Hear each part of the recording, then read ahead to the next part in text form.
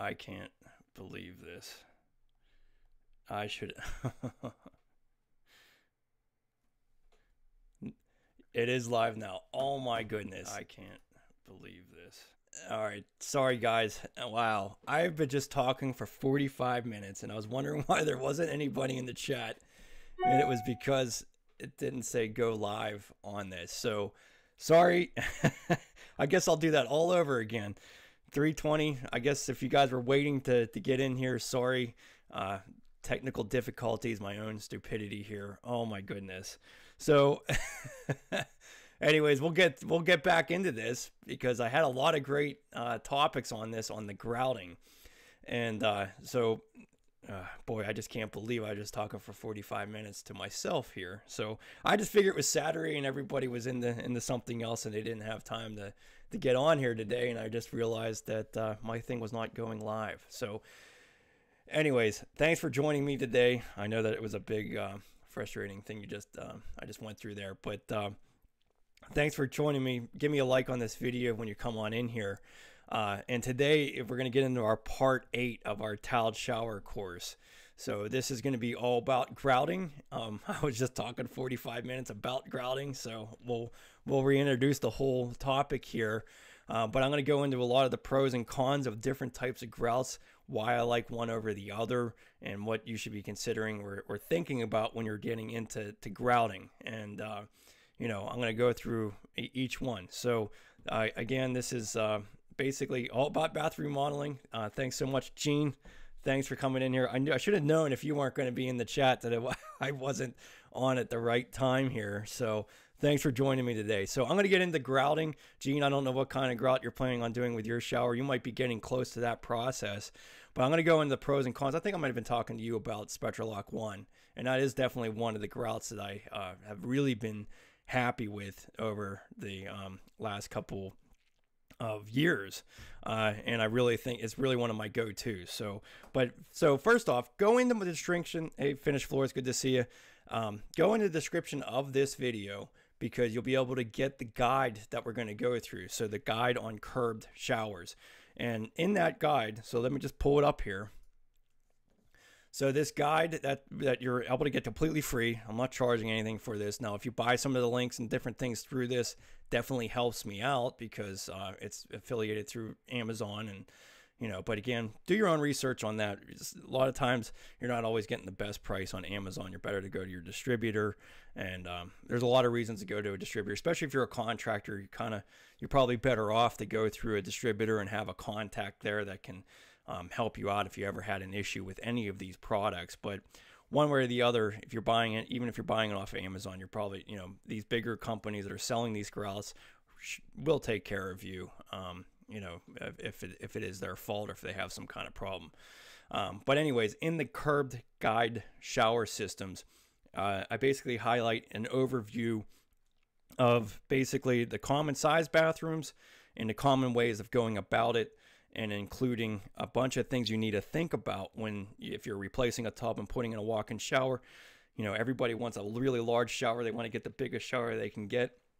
But you have to pay attention to the center of your toilet location to where it is to your tub. So there are some minimum distances you have to think about when it comes to where your fixtures are. So for a toilet, minimum code is usually 15 inches. I personally feel like that's still too cramped. You really want to be about 17 to 18 inches. ADA wants you to have 18 inches, so just pay attention to that. I know everybody wants a big shower, but if if if your bathroom just isn't big enough, you really want to try to keep that space. So at least keep it down to 15 inches. But I have you know diagrams in here to kind of show you some of the different common ways that most bathrooms are configured and be able to help guide you through on um, you know strategies of doing a walk-in shower. Again, if you're doing this for an elderly person, I know um, if your parents are getting older, they're thinking about getting rid of that tub, putting in a walk-in shower. Uh, you know, I would just advise making sure you have 18 inches on either side of that toilet, just because if it is for someone elderly, you want to be able to have all the equipment that they need to do. Um, you know, like some of those um, you know helpful chair things that you can get on. You want to have some room there so you can modify things later on if things get more difficult.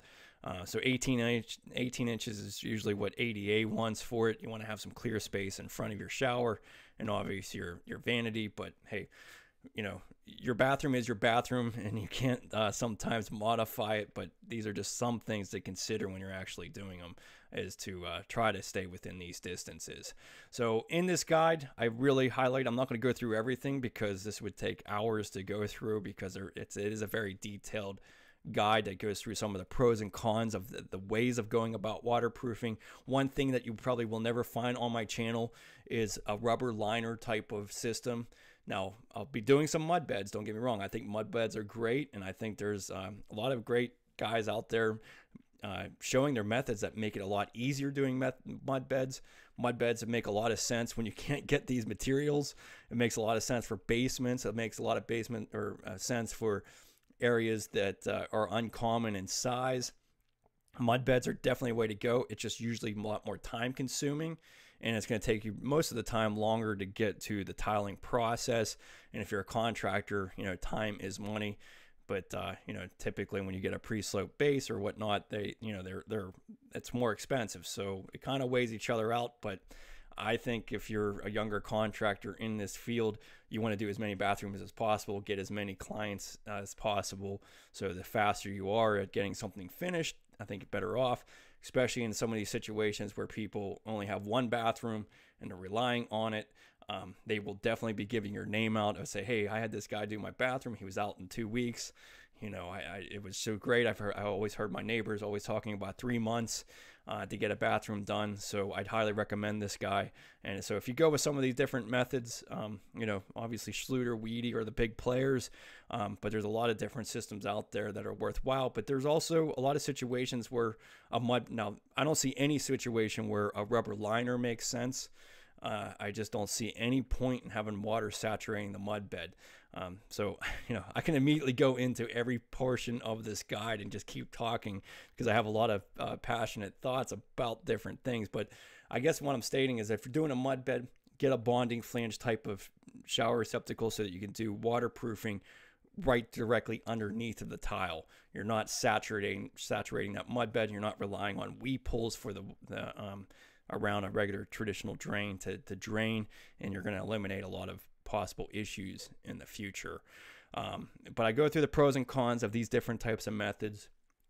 You know, expense is always one of them for sure. But, you know, these preformed bases, you know, in some ways, it just makes a lot of sense to be able to do. If you're doing, doing a standard shower three by five or taking out your tub and putting in a shower, you know, one of the cheaper, you know, one of the most affordable ways uh, to go is is the Schluter system. Um, they really kind of have it down to a certain price point that's kind of hard to say no to. Um, you know, especially if you're doing the membranes over drywall type of system. But I'm not getting into all the different systems when it comes to that. But just know that in this guide, it kind of highlights all the different systems. Shower faucets.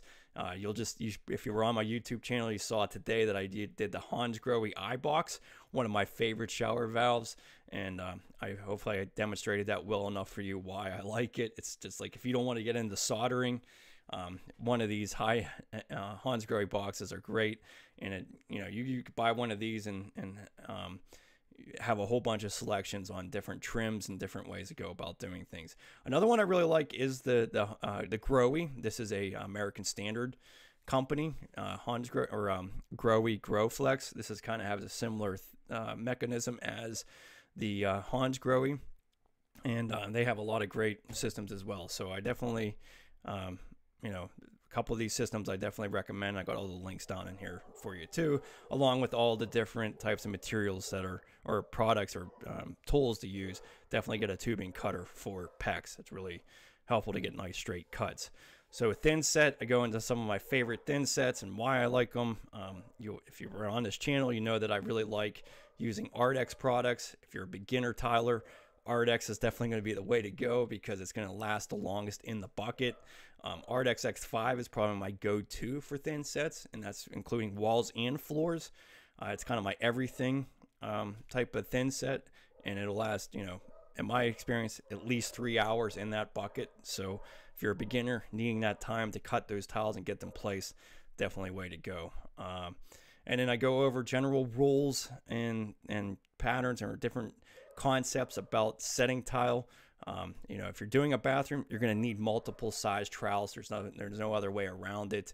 Uh, so if you're doing larger format tile, you're going to need a bigger trowel for that. If you're doing um, a mosaic on your shower floor, you're probably going to need a different size trowel for that as well. So I go into that. One of the biggest, um, I think, in the last 10 years that has really been super helpful are these leveling clip systems. So if you're doing 12 by 24s or plank tile, you know these leveling systems even though that they do spend take a little additional time to set up and it does cost a little bit more money to do you're going to get a better installation at the end of the day. You're going to have less lippage and it's going to look a lot better. Horseshoe spacers. This is something I only started, you know, I found about eight years ago.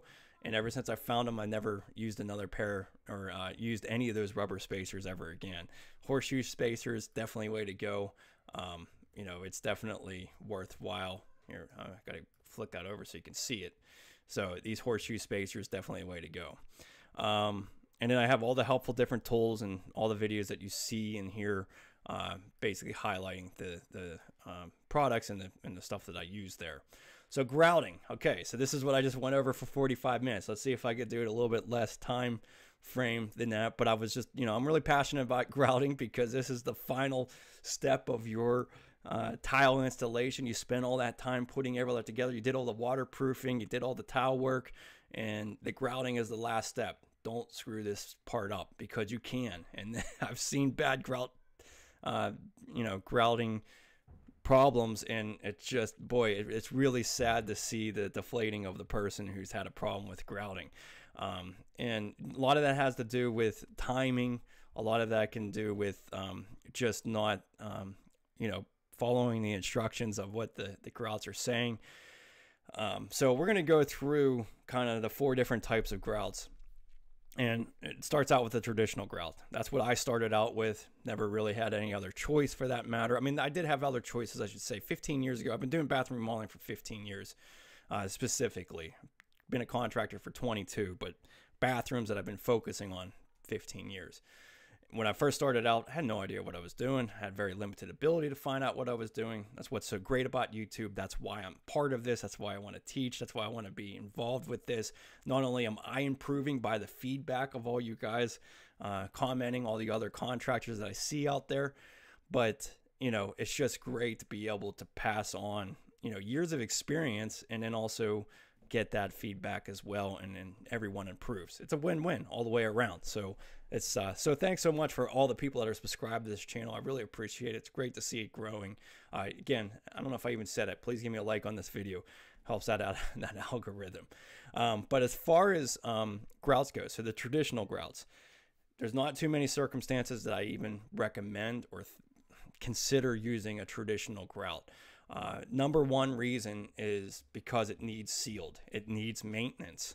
And no one likes to do that. Like I said, I've been doing for 15 years. I don't know one client that even calls me back to seal their, their tile or seal their grout. Um, it just doesn't happen. You know, sealing is um, not a very difficult thing to do. It's just that you hit the shower has to be dry, then you seal it, and then you have to wait 24 hours and sometimes 48 hours before you can use the shower again and no one seems to do that, especially if it's a shower that somebody uses all the time.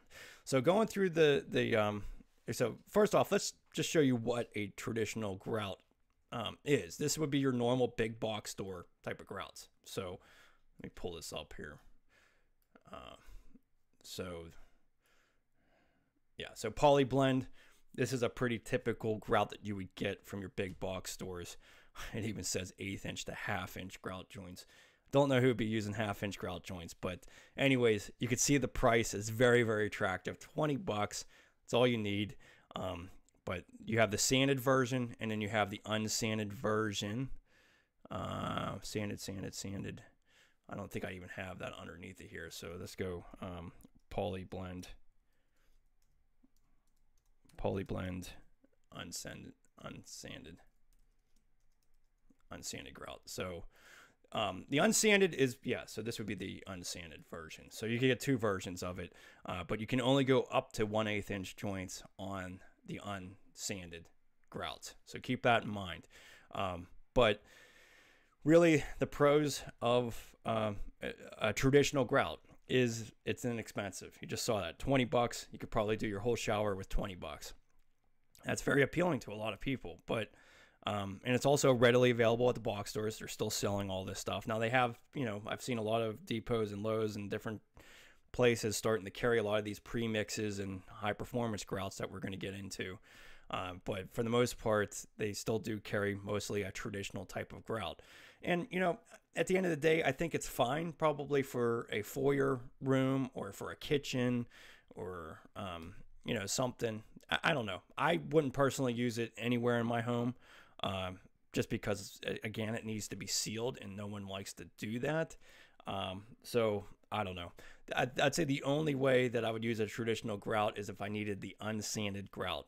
because um, that really is the the safest grout for sensitive stones. So when it comes to you know, um, like a really high gloss marble or porcelain. Well, not even porcelain. It'd be more like your stones, your really, really high gloss polished stones.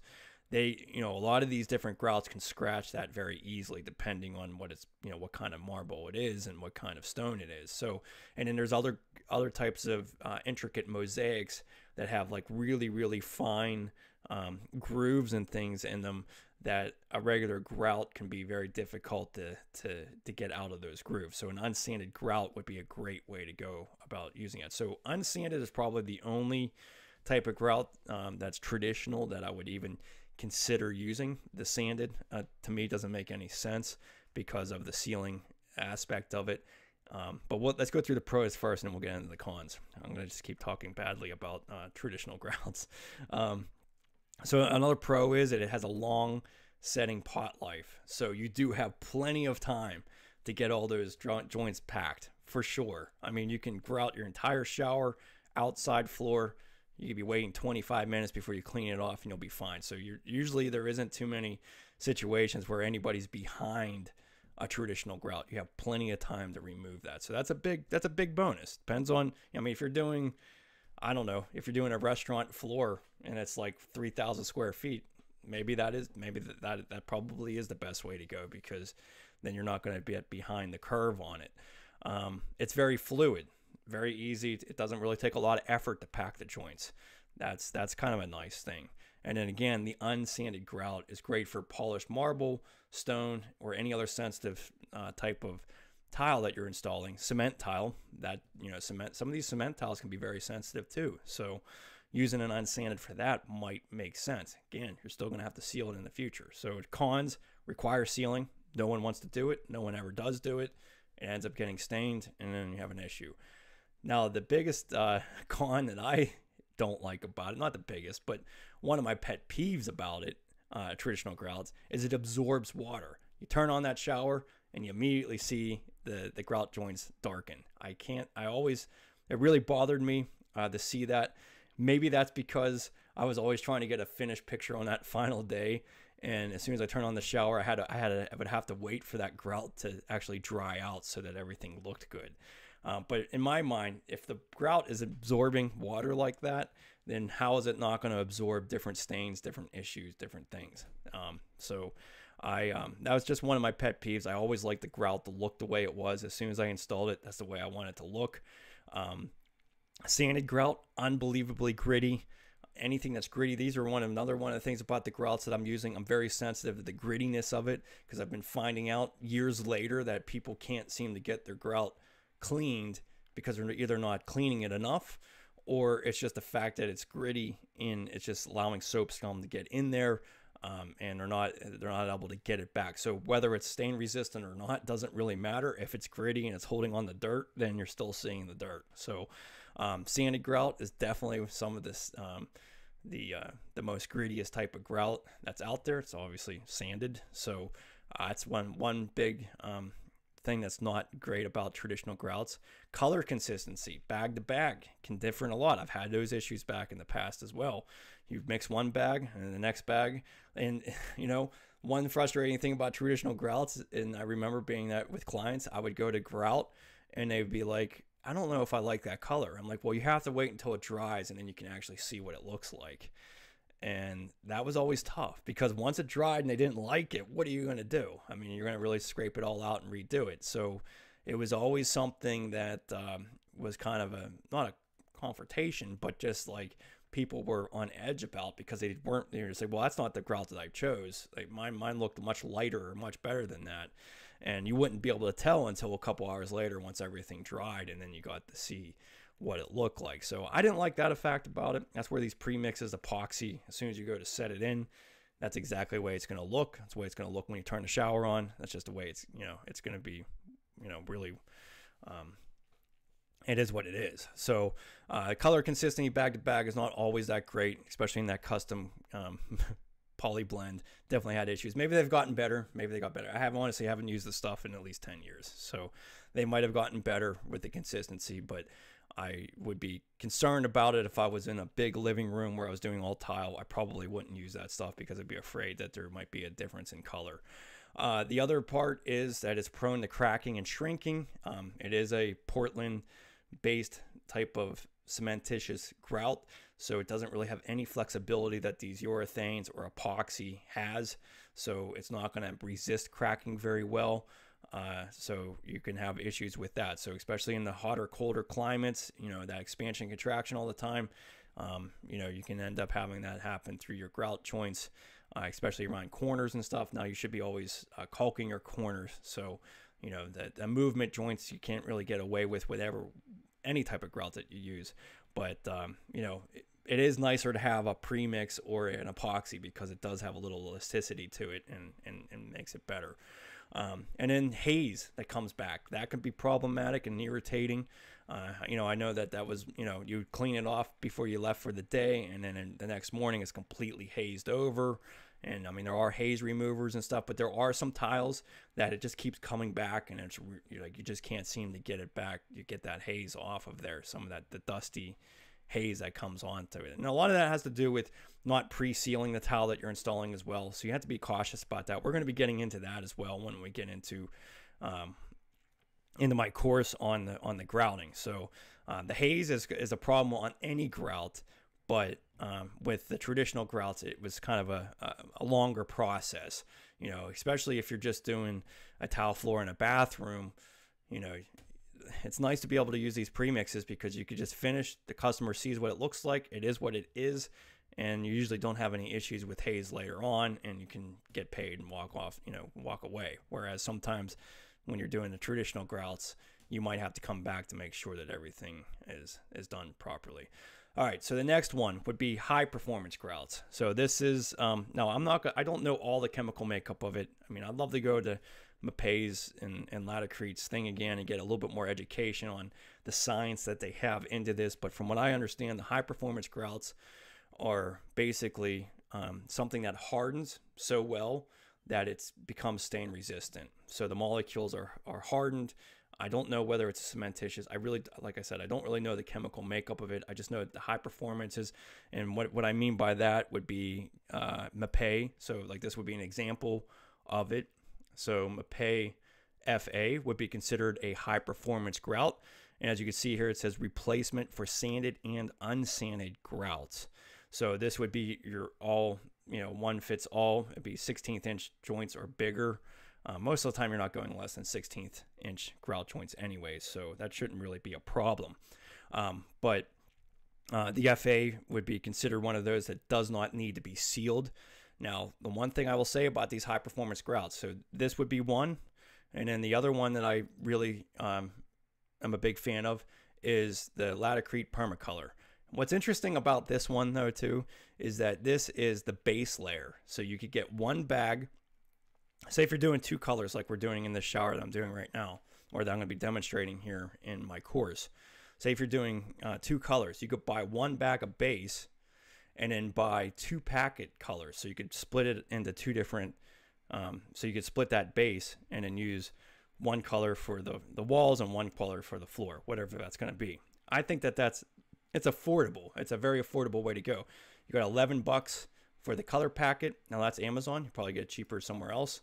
Um, and then you're talking about 30 bucks. Well, that's a 25 pound bag. That's probably more likely what you would buy is a 25 pound bag. So you got 50 bucks there. So you would have $70 into a two-toned bathroom. So you'd have the outside, say if you wanted the outside floor or something, and then you wanted the, the shower wall or something, you can just buy one bag of the base, split it in half, and do the separate packets. I think that's a really awesome benefit. Uh, that's definitely something I've done in the past uh, on flips and you know wherever you can save a little bit of money uh, is great. But I you know knowing that I had a great a good high performance grout that never needed to be sealed was also a real benefit too. So going through these benefits. Um, all right, so sorry I've been kind of ignoring my chat here. Hey Josh, happy Easter. Best lessons learned from once the hard way. That's definitely true. Uh, but uh, you, I definitely prefer mud bed. I don't really trust foam. That grout is so ugly. I don't like it at all. What do you think about the Mapei FA? FA, yeah. So we're getting into that right now. Um, finished floors. So, um, but yeah. Um, so the pros on high performance. It's inexpensive. So roughly, um, you could probably do a whole shower and your outside floor with 50 bucks worth of grout. Um, it doesn't need sealed. Obviously, biggest bonus of it all.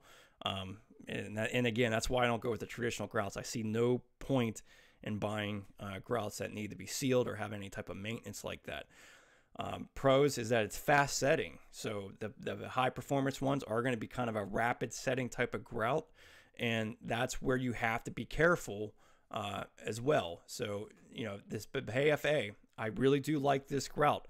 But if it's hot and it's dry and you have sun coming into your bathroom, I would be I'd be cautious. I'd be cautious with this because it can flash on you, and once it's once it's like hardened um, on the tile, you can't really uh, smooth out the joints well. You can't really. I mean, you could scrub it off. You'll be able to use a white scrubby pad and get it off, but you're gonna have a hard time making those joints. So it can it can flash on you and then be really difficult to remove. So it is sensitive.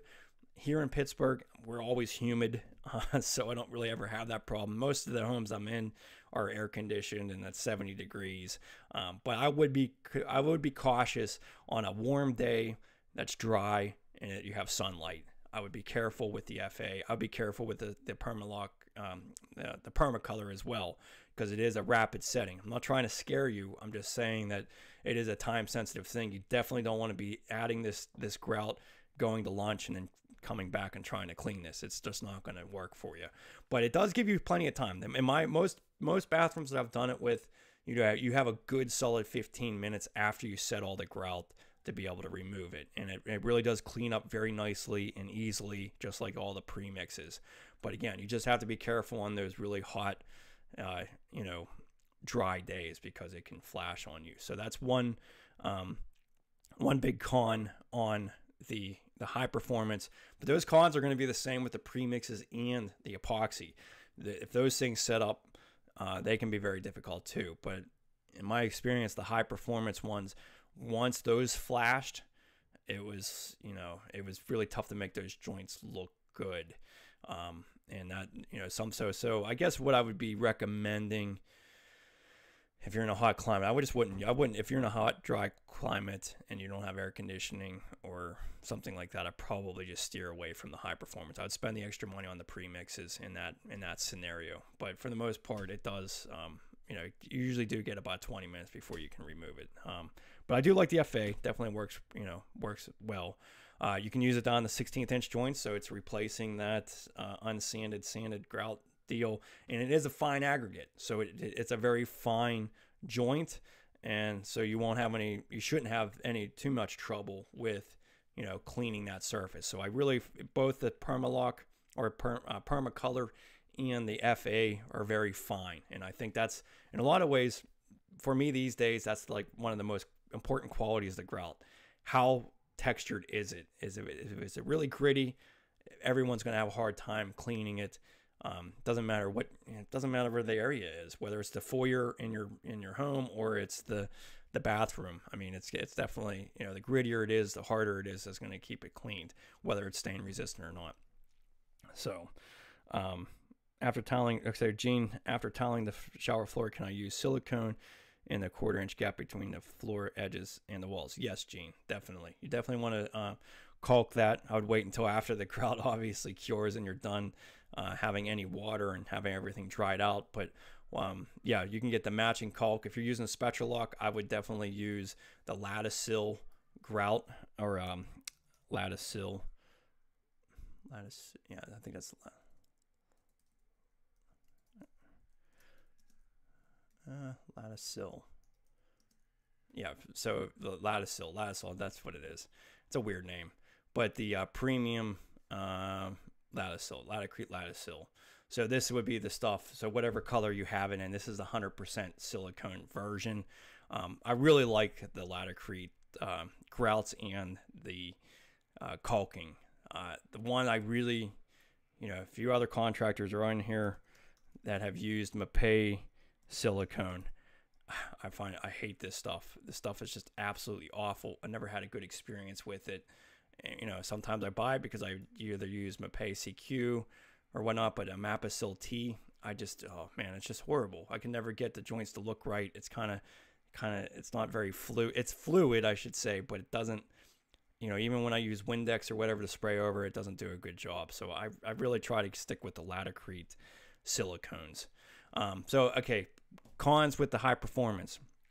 This is another pet, again, the pet peeve of mine is that it's going to absorb water. So you turn on the shower faucet, you're going to see it kind of absorb into the grout joints and it's going to be darkened and it has to, you know, have to dry out before it looks the way that you want it to look or the way that you uh, envision that tile work to be. So not a huge deal, but to me, again, if, if water's absorbing into it like that, that means that, I mean, in some form or another, I feel like you're going to be able to absorb um, other stains and soaps and different things into it as well.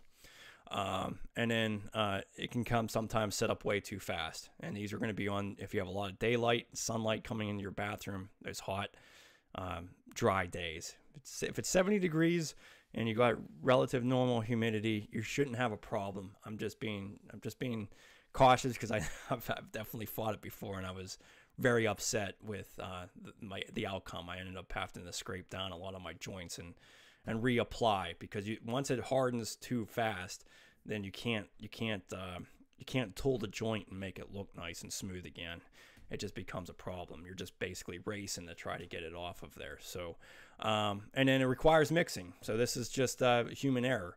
If you're adding too much water to it, you're going to get a, a, a, different consistency. Um, so anytime that you're, it's up to you to add water to something, um, you could uh, kind of screw up the mix and it may not work as effectively as you like. All right, so pre-mixes. This is all the the new um, stuff that's out there these days. Uh, you're, you're starting to see the box stores um, get behind this and carry this stuff. And I, you know, I, like I said, I've been really, really pleased with the uh, SpectraLock 1.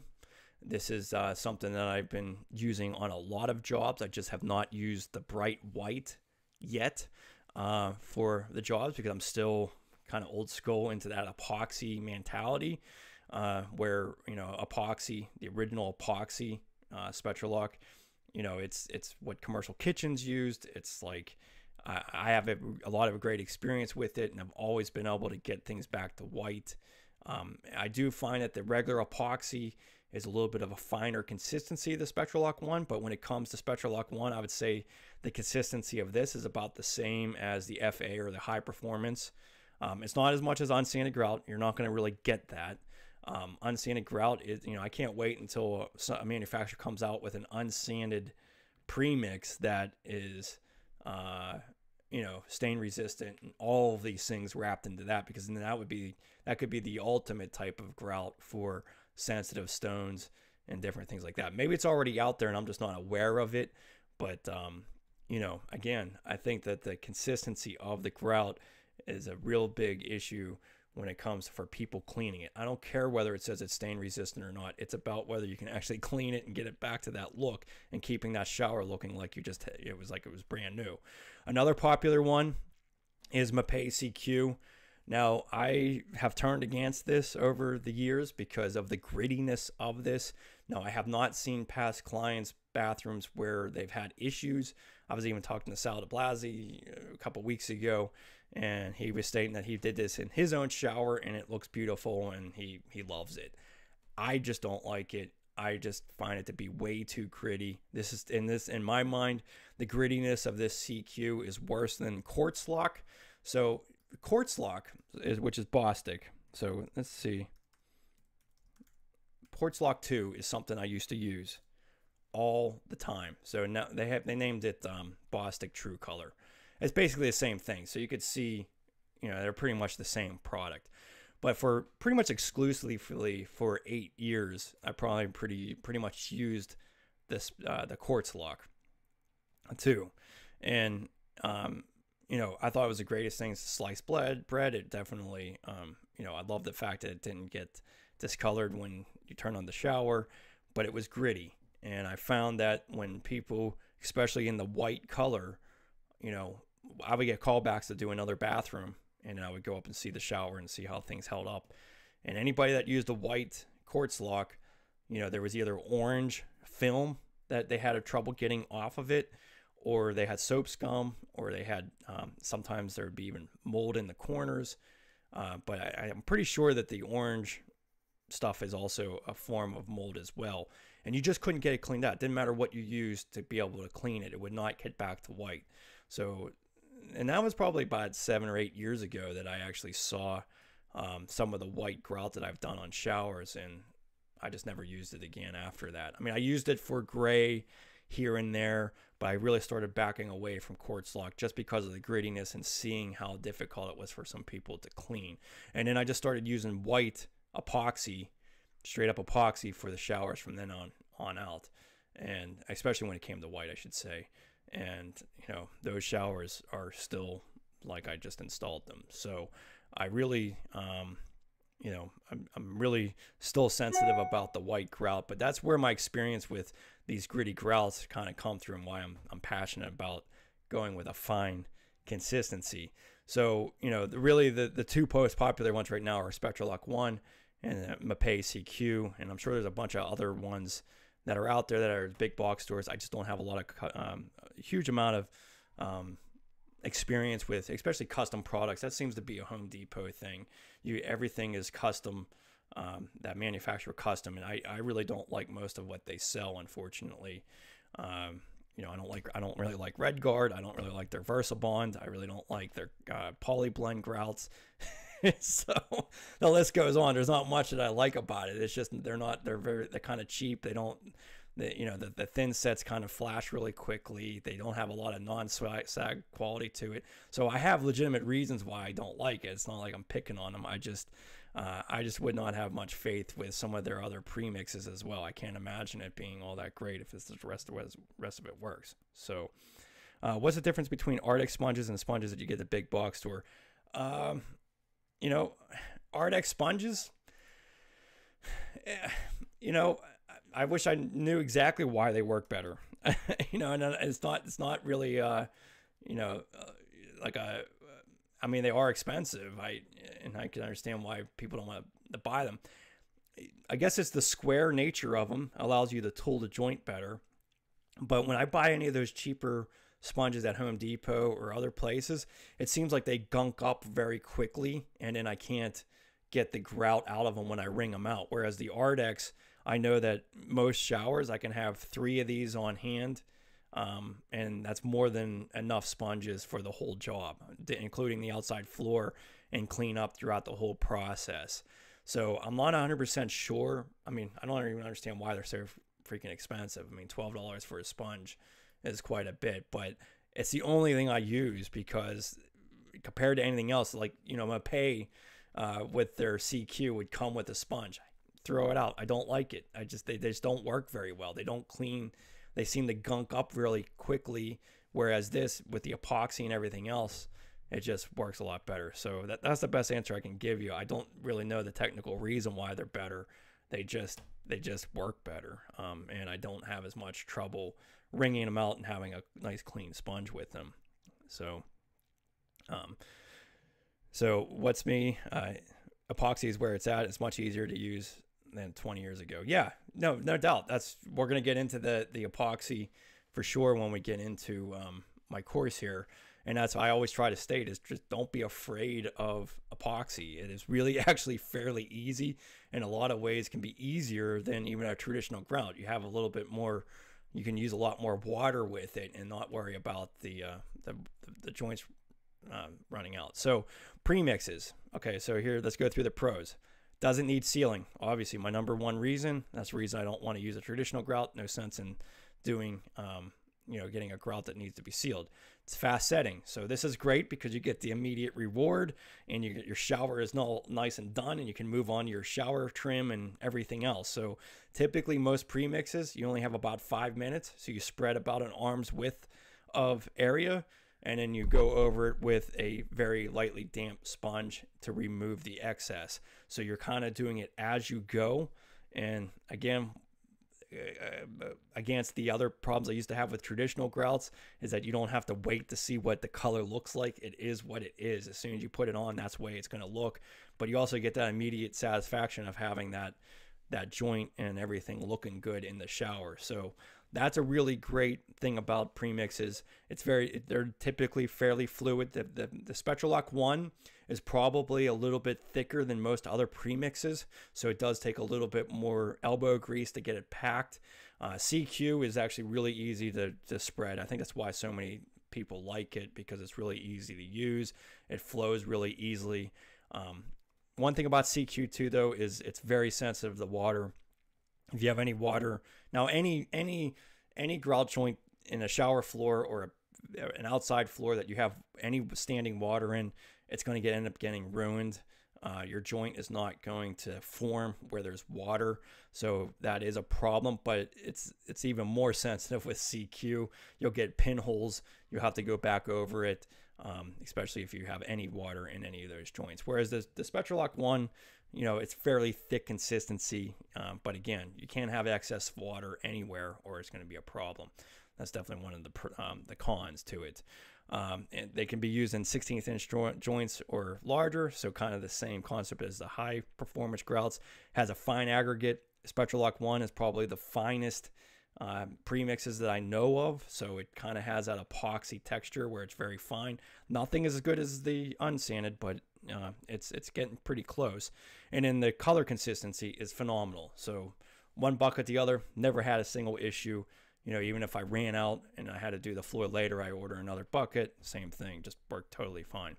Cons, super expensive, no question about it. Probably the most expensive Whitmill. Uh, epoxy probably is more expensive. Uh, yeah, epoxy probably still is the winner on that. Um, now this is Amazon, so take it with a grain of salt. It's 110 bucks. Probably get it at your local supplier at uh, you know contractor price at 85 or 90 bucks something like that. So, but it's still three times as much as all the other grouts or even the high performances. So that could be really expensive. So if you're doing like a huge kitchen floor or a huge living room, maybe it's not cost effective to do a premix, and that that's totally understandable. Other cons, and this goes with any grout, is hazing. You know, some of these um, high gloss porcelain tiles if you uh, can, they can haze can be stuck on there and hard to get off. I used to have a lot of problems with Quartz Lock 2 with that. Um, but I have a lot of methods here I'm going to be sharing with you. Uh, just hit the button there. Uh, I'm going to be sharing with a lot of methods here with you on how to eliminate having hazing issues with with uh, the premixes and the epoxy, and it kind of goes with any type of uh, grout for that matter. So um, you know, going through the techniques that I'm going to show you is definitely the way um, will help avoid that. But that's kind of a con on any type of system, you know, having that haze issue. But sometimes some things are more sensitive than others, especially when it comes with the high gloss type of tiles. Um, and then the other con it's very sensitive to water. Premixes are very sensitive to it. You have to have a very damp, wrung out sponge. Any excess water will wash out the joint. But hey, one of the pros is that you can go back and touch it up. That's what's really great about it. You, you know, you can even the next day if you see an area where your grout had kind of recessed or kind of didn't didn't work out, you can just scrape a little bit out and then just reapply some stuff that comes right out of the bucket. So you you have plenty of time to uh, you know one one thing that uh, has happened a few times is I would finish my plumbing in in the in the sink and I would I would spill a little bit of that purple primer and it would get onto the grout joint. Well, there's no getting purple primer out of any type of grout. Doesn't matter what it is. I mean, that's it's definitely going to stain. So with premix, it is nice. You can just scrape out that area and apply new premix, touch it up. Definitely one of the biggest, best things about the pre-mixed grouts is that you have it in the bucket and you can just keep touching it up and, and making it better or fix any of your your uh, self-made problems, I guess you could say. Uh, and then the other con would be there's a little bit of a learning curve. That's what I'm going to teach you today with it. Um, because if you were doing regular traditional grouts, this it's nothing like that. Uh, it's really much much different, and you really kind of have to be going within a technique that is going to keep you from um, overworking the joint. And obviously, again, water is its biggest enemy for sure. All right, so epoxy, my favorite epoxies today. Um, I probably use more Spectralock. Oh, that's the regular Spectralock one. Spectralock Pro so this is probably my favorite um, made by Laticrete again. Laticrete, I mean, they just really made a good product when it comes to grouts. I really, really a big fan of it. Um, but the Pro grout is probably the easiest uh, ones to use. And now this is a three-part system, A, B, and then the C powder part. Uh, but you can see that the price tag is just as unfriendly as the premix. So you're still looking at about a hundred bucks for your shower, and uh, we're going to go through the pros of that. The other one that I really like is um, Ardex. Oh, I you know what? I meant to do that Ardex. I guess I have that um, Ardex WA. So this is uh, epoxy grout, um, basically a two-part system. They basically have the colorant in the mixture above and then you mix it into the box below. So this actually is like a two part system versus a three. Um, but this is a great epoxy as well. So there's a lot of great pros to epoxy. So number one, it's pre-packaged. You're not messing up the mixture. You're able to, you know, as long as you get everything out of the package, you're going to have the proper consistency. Uh, you're not there's no human error when it comes to mixing it because it's all you know you're, you're, just using the contents that it comes with. Does not need sealed obviously the biggest reason of all uh, but this is probably the most resistant to stains. Um, these are what commercial kitchens are going to use. I actually did a gang shower for um, i can't remember what company it was a chemical company uh, and their employees always had to take showers before they left for the day which is kind of scary in itself. So I don't know why, but um, anyways, this shower got a lot, a lot of use. And the only thing that they wanted for grout was epoxy because of the chemicals that they used to clean these showers. They needed something that wasn't going to cause a problem. So epoxy was what they, you know, most of these commercial applications want because they know they can get it back to what it was, and then chemicals really aren't going to cause a problem with it. Um, another absolute great uh, pro for epoxy is that it basically is an adhesive.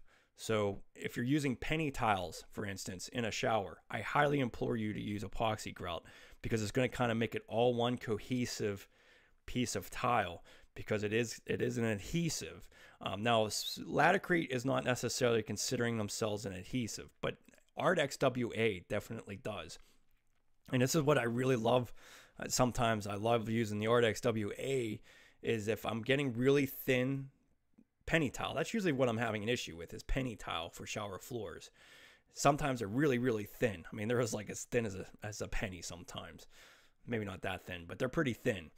And it's you know trying to thin set penny tile down and not and getting them out of the joints uh, can be really problematic, especially if they're only like an eighth inch thick. You don't have a heck of a lot of room there for grout to cover over any thin set layer that might be coming through. So the best alternative is to buy the Ardex WA to actually adhere the the penny tile down to that floor. And then if, if anything comes up through the joints, who cares? Doesn't really matter. Does not matter because it's going to be the same color as what you put over top of it. Now, it is going to be expensive. You got to do use it as the adhesive and then epoxy it over. So you're talking about twice as much money to do this.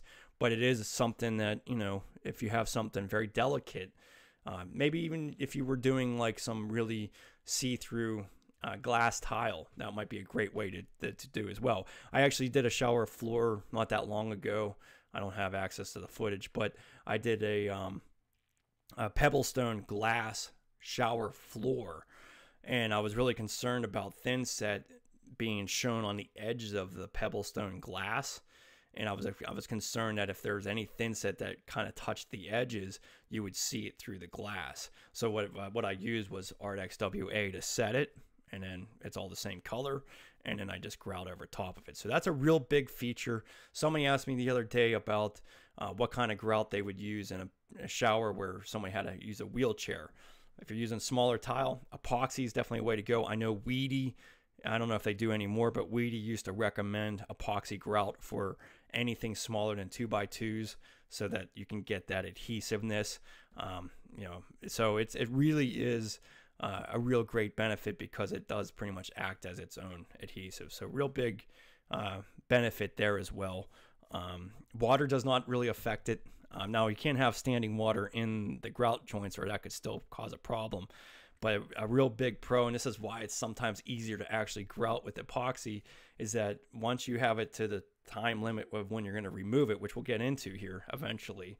I've been talking for an hour 45 minutes, even though I've only been on 45 minutes on here. But, but anyways, the um, you can use a lot of additional water to wipe down your surface, so you're not concerned about it washing out the joints like you do on almost every other type of grout. So that really makes it nice, makes it kind of somewhat foolproof to a certain extent.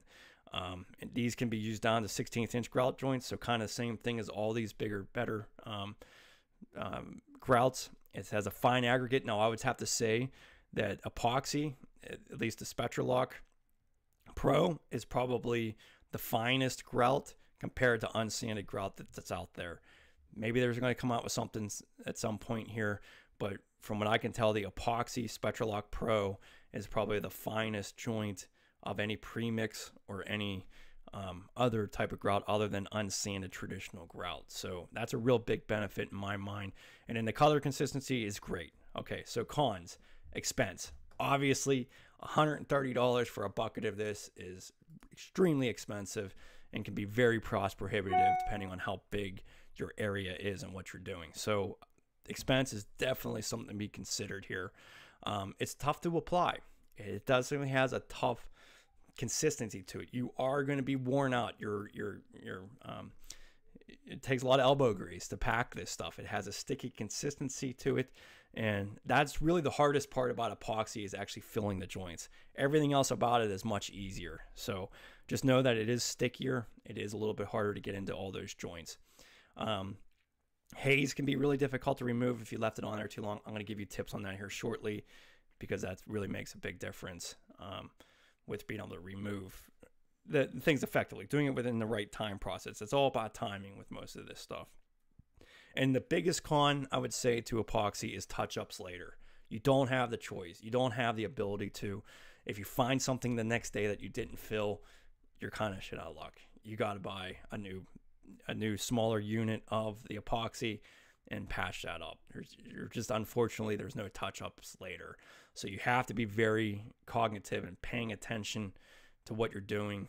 Um, you know, to to when you're when you're installing this. Now you do have time after you do the washing and everything like that. I always recommend, and you'll see in my video here that I always recommend, you know, balling that up and having it um, sit aside so that you can touch up later. But if you're talking about the next day and you see something that you didn't fill in properly, you pretty much have to buy a new kit, and that could be very painful and expensive. So those are the pros and cons. I go also go into in here, and I have that in my course as well.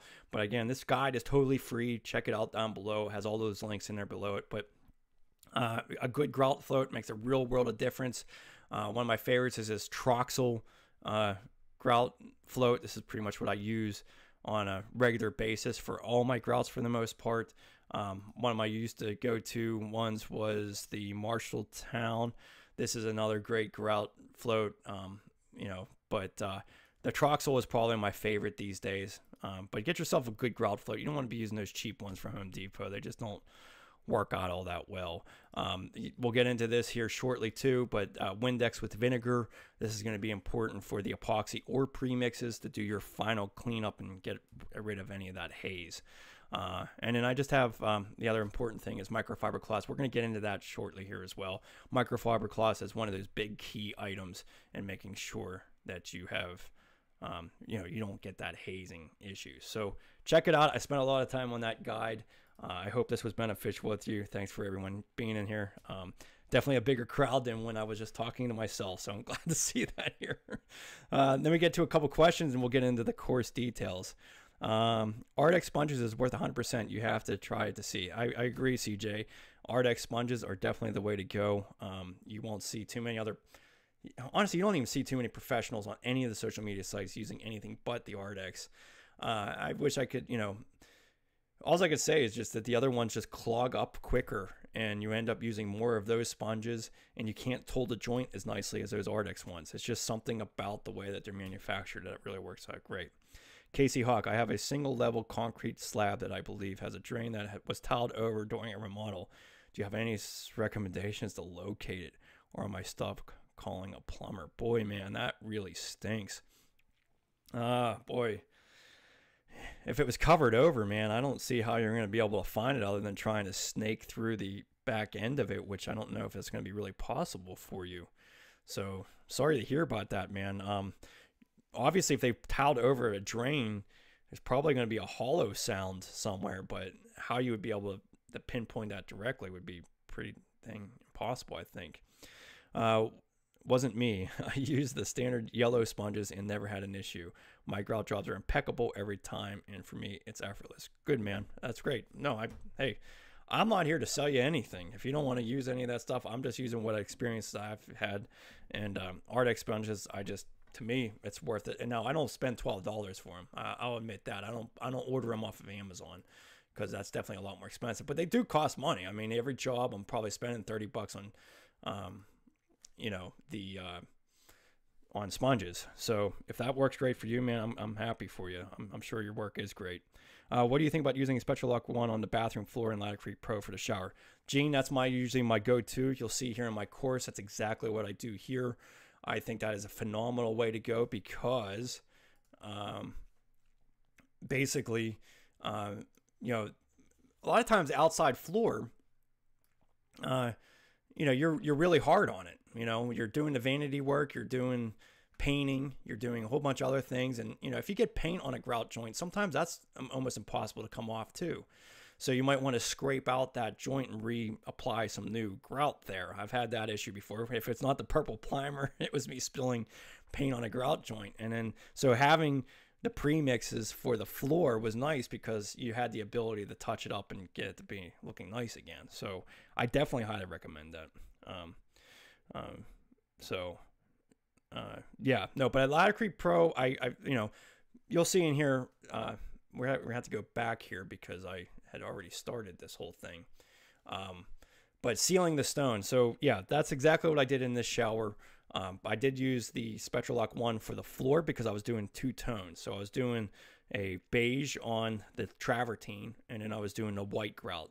Um, so, but Gene, I mean, if you're using an off color, I really do feel confident about you using um, the Spectralock one for everything. If you wanted to do two colors or whatever, I, I really do feel like they're great. I just, to me, again, it's just about the white grout. I'm still sensitive to it just because I've had issues over the years. And uh, someday I probably will use the Spectralock one white and see how it performs. But uh, for me right now, um, my highest recommendation is still to use the epoxy for white everything else, Spectralock 1 at this point seems to be the way to go. I've been really, like I said, I've been very pleased with it. But sealing stone, you want to seal some of these tiles before you go grouting it. And stone, marble, anything like that, that's that's one of those deals that you need the, the sealing. Now, sealing is a very easy process, and we'll get into it right here. But I had a travertine border in the shower, and then I had the shower floor that was um, uh, also uh, travertine as well, so I needed to seal that before I grout. Okay, so this is travertine. Our floor is travertine.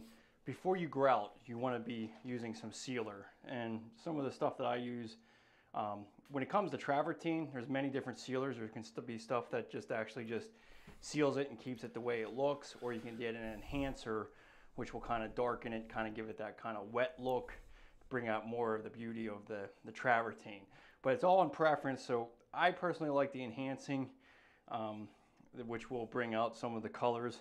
But what I like to use is this Mapei Enhancing Plus.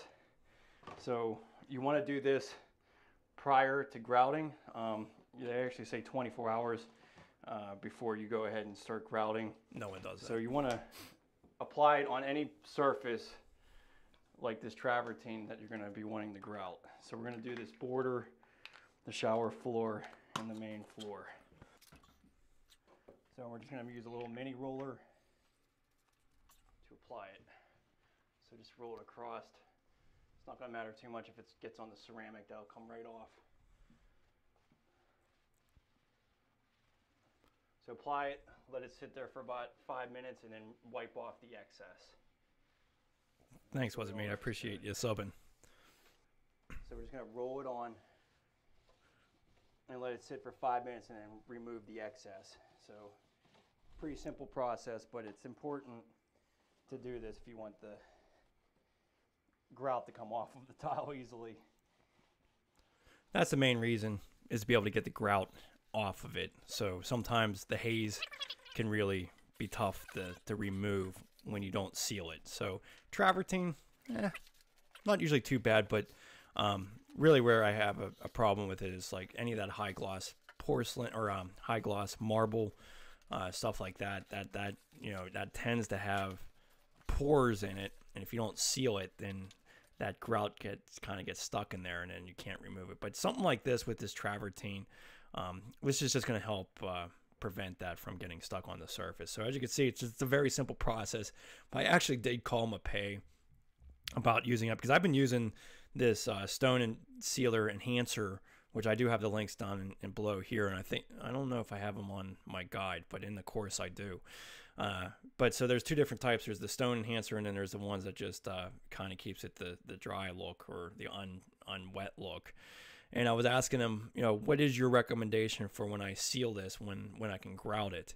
And they didn't have any real good answer for it. I actually called the the one tech company. I was really disappointed uh, with their answers on it because they're very vague about it. Some of these companies are vague on some of these situations, um, but I mean, really, their conclusion was seven days. I'm like, no one in their right mind is going to seal their travertine before uh, grouting and wait seven days to grout. I don't know anybody that does that. So, you know, um, maybe I need to be on search for a better sealer that has a better recommendation. But I've been using this stuff for years, never had an issue with it. I literally let it sit there for five minutes, wipe off the excess, and then, you know, almost an hour or two later, I, I want it to dry. Don't get me wrong. I don't want it to be all wet with the, um, you know, the actual sealer, but uh, you don't have to wait seven days. I mean, this this is basically this was done sometime around lunchtime, and then I grouted before I left for the day. So a lot of times with the two tone grouts, I'll uh, do one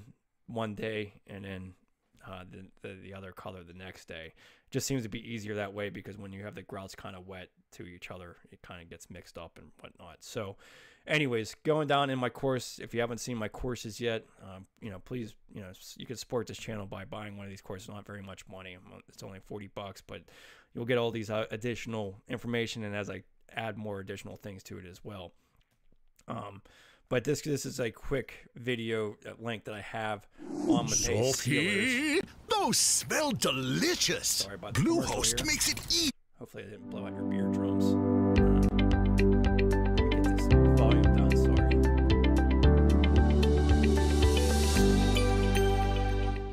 sorry, guys. I'm Sam here with Mapei, and welcome to another edition of MTI TV.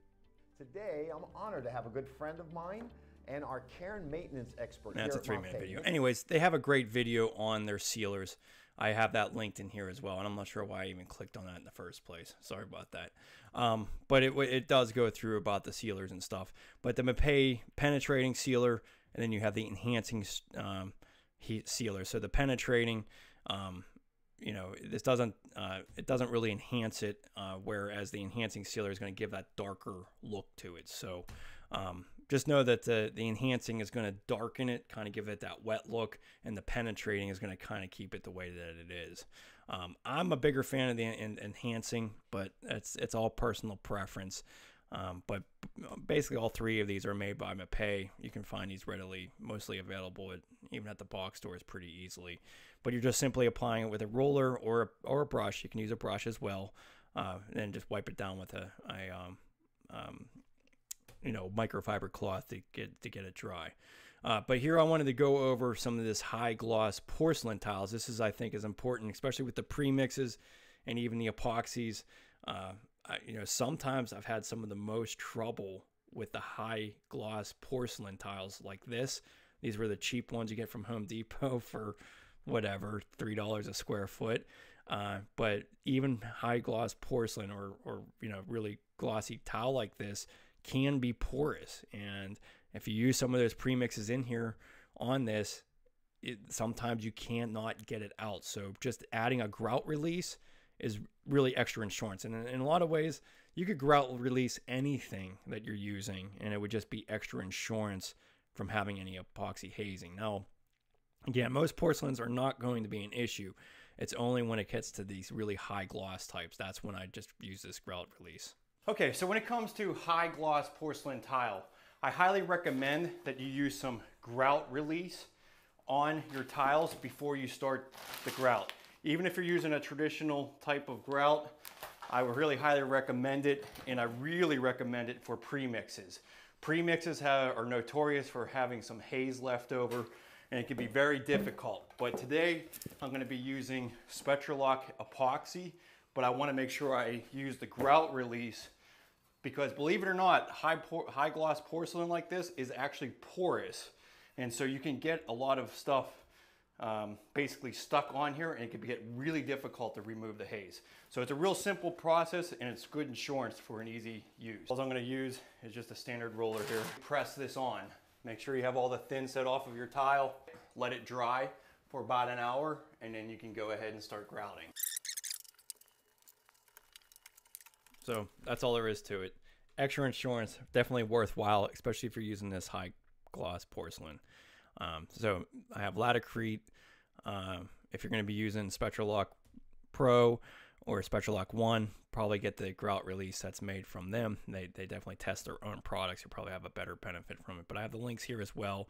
And if you ever bought the course, you could always leave me a comment down below and I'd be more than happy to help you out with that. So, um, all right, so let's get into the grouting the border. This is using the, the um, and we're doing the floor as well with the Spectralock 1. So again, one of the simplest types of grouts to use in my mind. And so we'll just get right into it here. Okay, so we're going to move on to grouting. Um, this is going to be a two-stage process because we're using two different colors. We're going to be using, for the floor, we're going to be doing a beige, and then for the border, we're doing a beige as well. And when you do two, two tones, you want to have one fully cured before you start applying the second. So in this instance, I didn't get finished, or the, uh, the tile work still needs to set up for the white tile. So I'm going to be doing the white grout tomorrow, but I want to at least get the grout into this into this accent. And what I'm going to be using for that is Spectralock 1. This is a pre-mixed grout that doesn't need to be sealed. Um, it's stain resistant and uh, it really is some great stuff because uh, it has some crack resistance to it and then like I said it doesn't it doesn't stain, it doesn't need sealed. There's like no maintenance with it. So we're gonna be using that for the colored portion. So we'll get do this and the floor, and then tomorrow we'll do the white grout. Okay, so you don't even have to do anything to this. This is just that you don't have to mix it or anything. It's just ready to go. It's one of the things I really love about this grout because when I do this border and I do the white, I can go back and touch up with the, the, um, the pre-mix. When I use the epoxy, once I mix it, that's it. So it's nice that it's flexible and I can go back and touch things up. So this is really going to be a simple process of just embedding it into the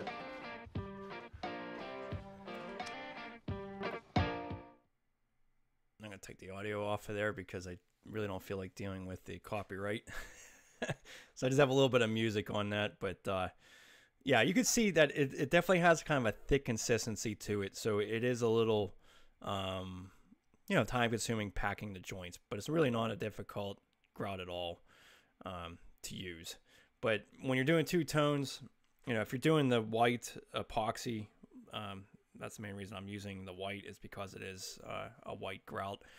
Uh, I'd probably go with the darker first and then use the lighter color later on. But it really, a lot of ways, you just have to make sure that you don't mix the two grouts together. But that's where I like to do one the day before and then uh, the other type of grout the next day because we're going to be doing the floor as well in this same color. So that was only about five minutes to pack all of that. So then you could just take a really damp sponge and just wipe that all down. and it's really immediately rewarding too because you really get to see what that is going to look like and stay that way. a little bit with your sponge, just smoothing them out. So pay attention to those joints and then put a little bit more pressure where you need to. You know what? I'll just leave the music. I'll just have them it have them muted if they have a problem with it. And this is an important part concept of this uh, using that microfiber cloth. This is going to keep that haze from building up. So that's a really helpful tip on the epoxy or uh, any of the premixes for that matter. Really makes a difference.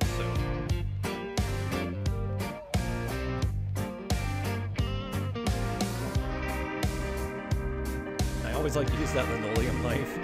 It's uh, scraping out the you know the joints where it's going to be white. Here I go on moving on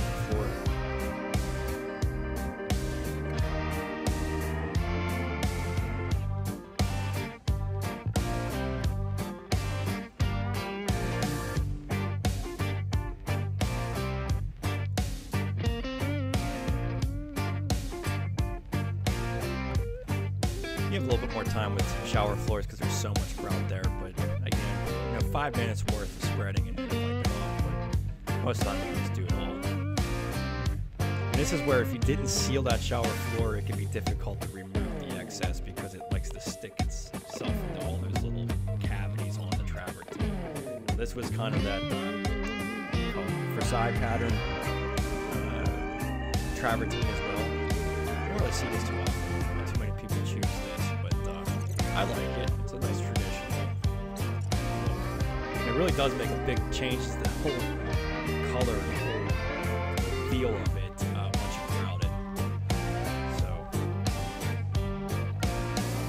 also what's nice about the premix. Um, uh, the premixes is that they, they are what they are. So if the customer came and saw it, that's what it was. Yeah, I know, Andrew. Why, you telling me to cut it just because of my copyright on it? I'll be able to mute it later. I just keep it.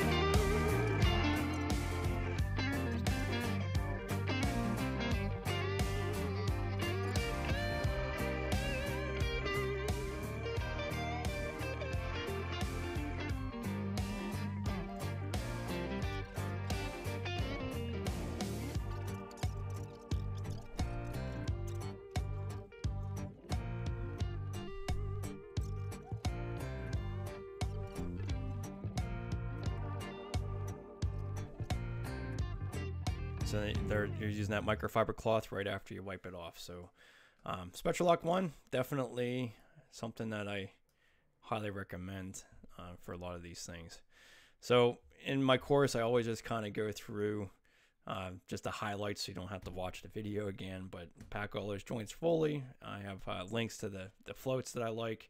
Wipe off the excess with a sponge, making sure that it's not too much water. That's the biggest key uh, and then going over it with a microfiber cloth pretty much directly after that. So again, just always paying attention to your grout joints, looking at them, making sure that they're filled well and that they're smooth with the tile. And the great thing about the premix is you can just add a little bit more onto it immediately and then be able to to fix anything that you missed.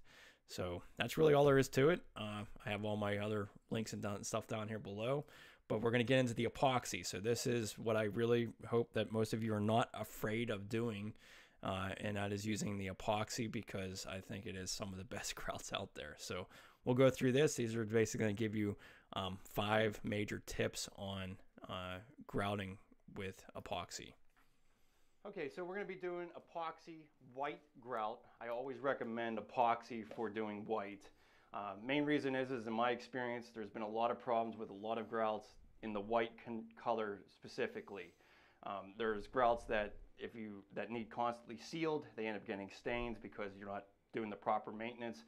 Just scratch that altogether. I would not use a grout that needs sealed. There's no reason to in this um, day and age. There's a lot of advancements in grouting that require, you know, it's going to be completely sealed off and not allow any absorption of any type of stain. And that's what epoxy does. Epoxy is probably, you know, that's a premium grout I would consider. It's what's used in commercial applications. Um, they would use it in commercial kitchens. So if it can withstand that, it's definitely going to be able to withstand, um, you know, your shower daily use. So epoxy, I'm going to give you five recommendations on how to use this and do this the proper way so that you have an easy time of installing it. Okay, so my first recommendation is to get every bit of the part A and part B out of the packages. It's amazing how just one tablespoon difference can make a real difference with the mixture. So squeeze out every bit of the epoxy before, when you're mixing the A and B parts. And really, the hardest part of doing any of this with the epoxy is actually packing the joints. So if you don't get everything out of those packages, it's going to be a stiffer consistency. Okay, so definitely use a clean. it's going to be harder. Um, mixer for this. You want to be completely clean. You don't want to be having any debris. You don't want thin set on the end of this or anything. So you just mix the A and B together really well.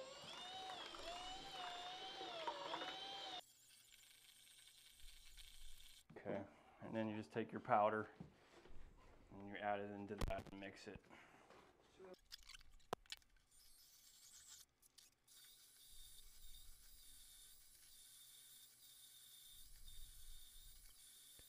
You really should mix it for about two minutes too, so that you can get the, the right consistency on it. Okay, so bring out a sponge and then just wipe over the surface that you're going to start applying this epoxy grout. This helps glide the, uh, the grout over the, the tile, makes it a little bit easier to spread. And then one of my favorite grout um, floats is made by Trox. And this is made for urethanes and epoxy grouts. It's a little bit stiffer than a normal Marshalltown, so it helps get it in to the joints a little bit easier. So once you've wiped down your surface, take some of your grout, and then you're just gonna pack it into the joints. And then at a 45 degree angle, remove it. Don't be too overly concerned about anything that's left on the surface. It's really easy to to remove this once we get to the proper time frame here. And I'm just going to be really careful around my border because I just want to fill all the white grout on the tile. So yeah. So it's a little it's a little bit thicker than probably most grouts. Um, and that's where making sure that you get every that part A and B out really makes a difference. So I really think that the most of the work is actually just packing the joints. Everything else is pretty simple after that.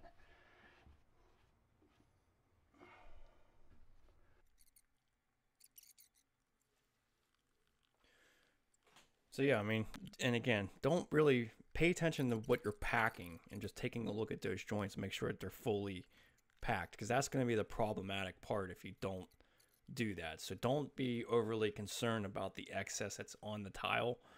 Uh, I really would think that you know make that the secondary issue in your mind uh, of scraping off that excess because that's not a big deal.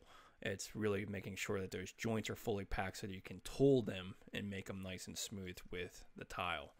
And that's what's a little bit different about epoxy for sure. I mean, a lot of other grouts, you're more concerned about everything. You don't want to leave too much on the tile, and um, you know, so this is very flexible for that matter. So, but typically, even if this was subway tile or anything like that, you could pretty much. This is basically a three by four shower for for the most part. You could pretty much do the entire thing with a. Um, you know, I bought the nine pound unit for this one, which is the bigger unit. But if you this is your first time, you might want to buy the smaller kits and just do one wall at a time. Um, well, you really you're only going to get two kits. You probably only need two kits. Good.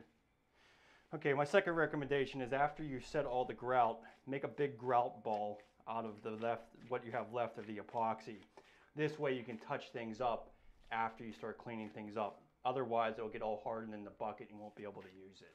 And again, that's your biggest con to epoxy is that you don't have the ability to come back tomorrow and touch anything up like the premixes. So make sure you ball that up so that when you're when you're cleaning everything 20 minutes later, then you can touch things up as you're there, but you really have to pay attention to those grout joints because you don't get a second shot or you're spending a lot more money to mix another section of it. So you can see all the excess I have on that tile. It's not beautiful. It's definitely, there's a lot of grout left Okay, so number three is timing. This is a real big key with epoxy. You need to basically remove the excess epoxy at the right time. So the best way to do that is just a press on the joint. And if you can mold it and not getting anything off of your finger, then it's ready to go. So in this instance, it took about half an hour because it's so humid. And now we're ready to scrub. So always have two buckets of water ready to go.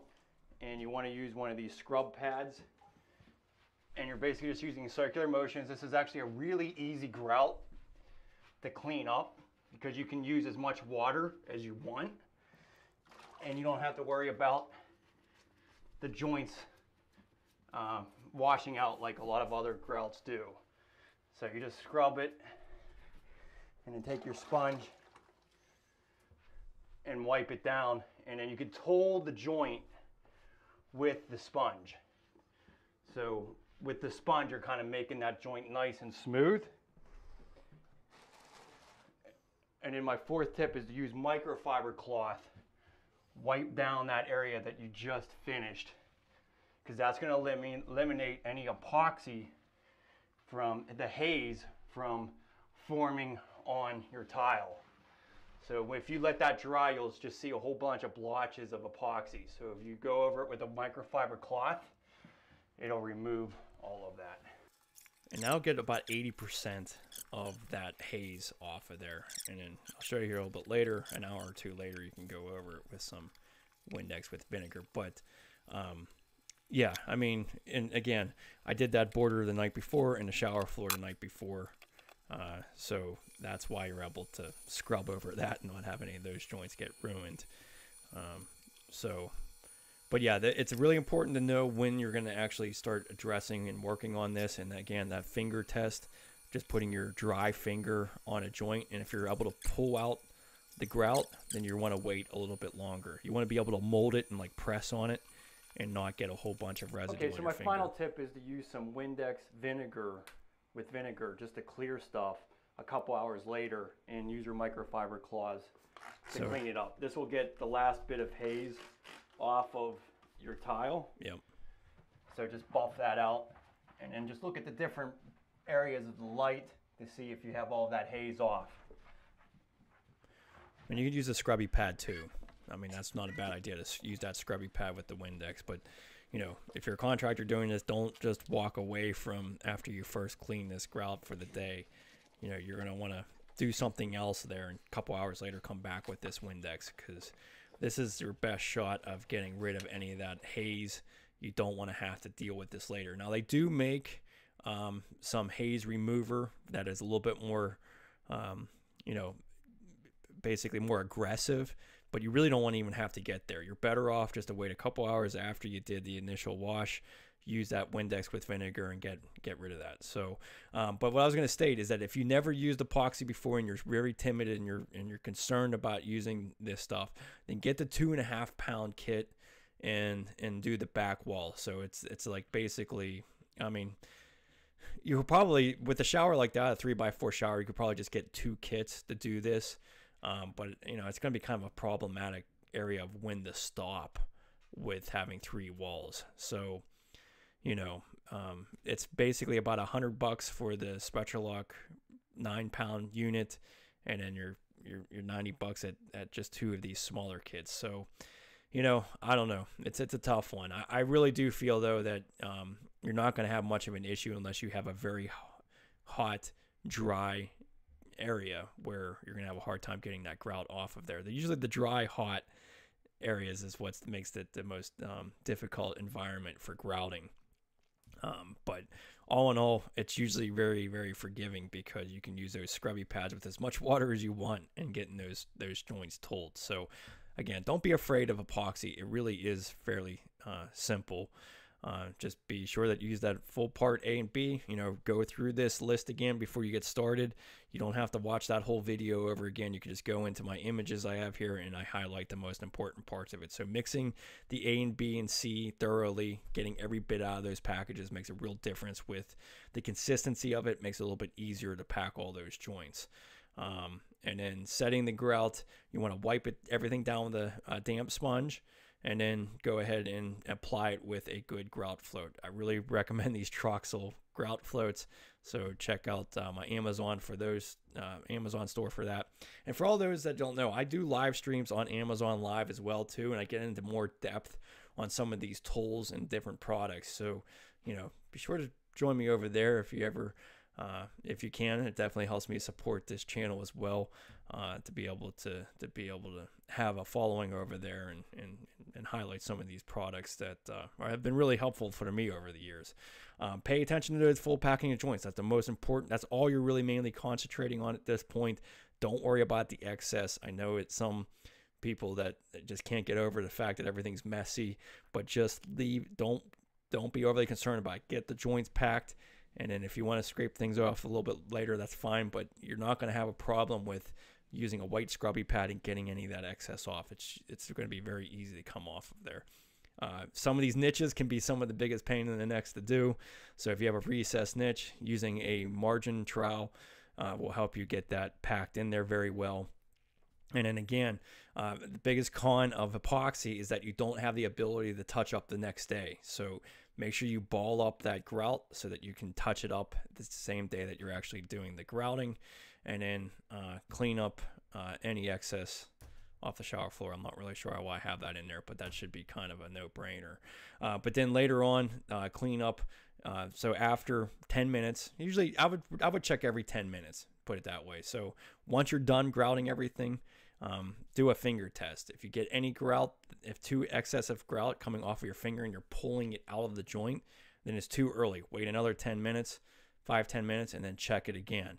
Uh, you really want to be able to just mold it. You don't want to uh, be pulling the grout off of the joint. Use a white scrubby pad to scrub everything. And again, you can see how much excess water I was using on that. That's one of the great benefits of using um, epoxy grout. The water just does not affect those grout joints the same way it does on every traditional type of grout.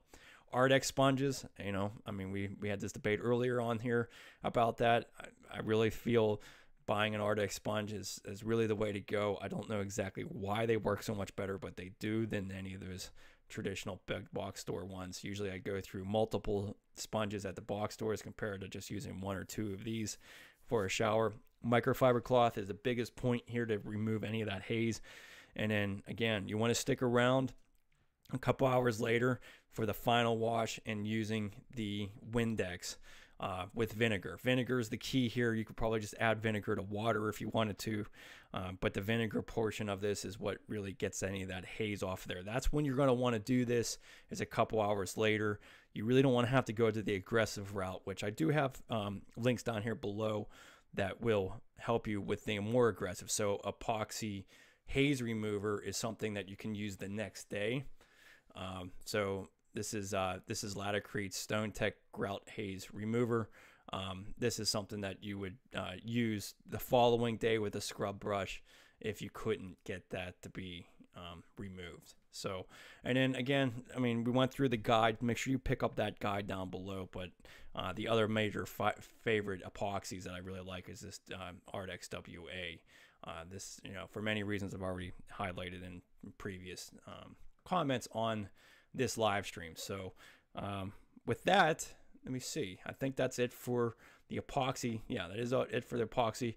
If you ever have any questions, uh, if you're part of this course, if you want to support the channel, buying a course is definitely one way to do it. Uh, and you can, you know, always reach out to me. I'm always looking for feedback uh, because that's just going to make me have a better, um, create a better course for that matter. Check out my website. Been putting a lot of work into that as well. So I've got a lot of free materials there as well. Um, that uh, can help you out on the plan page. A lot of different guides. You know, I got so many windows open up here. I gotta cancel out some of these things. Uh, but I wanted to show you one checklist. I also have in the description below here. Uh, so these are just going over those five key points of epoxy. it has the video. I do have this on my YouTube channel as well, in addition to this live stream. Um, but then I have all the different links down below here about where to get this stuff. So you can, in the description of this video, get this guide as well. And then you have links to be able to get to my course and everything else with that. So, uh, Jamar one, thank you. I hope I can get back to your videos later. Great, man. Yeah. So getting back to where where I'm at here on YouTube. So let me just go to my YouTube channel. And so if you go to playlists here and you go under uh, towel walk-in shower course online course. That's what i have it underneath here. You can follow along with all the other uh, courses here or, or the other parts of this course. So i really wanted this to be something that um, everybody has access to whether you, you buy into the course or not. So that's really you know my goal is to simplify bathroom modeling and you know really i really feel like the course is going to be just if you're really doing this for a serious project or job or, or in your own home the course is going to keep you more focused and then um, you know just youtube is so distracting. I'm sure all of you are on here now probably getting different uh, dings from other creators and you probably won't even stay on here for more than 20 minutes. So you know i get it. I'm the same way. So if you get off of youtube off of social media and you have a platform that you can actually uh, learn things on it it does tend to keep your focus there and keep you organized. And that's what my my courses in this whole platform is really about is to, to, to help with that. So um, all right. So i've been on here for two and a half hours. I know it's only been about an hour on this live stream. That's because I was talking to myself for an hour because I screwed up uh, going live on there. But um, yeah, happy Easter, uh, Gilbert. Thanks for thanks for watching uh, from Africa. That's pretty cool, man. I haven't gotten anybody tell me that they're from Africa watching this. That is one great thing about YouTube and social media and all this stuff. You get to talk to people all over the world. I'm, I'm hoping someday I can come out to Africa. I'd love to check out the place. I've always uh, one of my bucket list places to go. Uh, so but anyways, thanks so much for joining. Give me a like on this video and uh, subscribe so that you can get uh, the next notification on the next live stream. Check, again, check out my Amazon store. It's in the link description below there. I'm doing live streams on that probably every week as well. So you can always find me on these live streams to um, answer any questions that you may have. So, all right, guys, have a good weekend. I'll talk to you soon.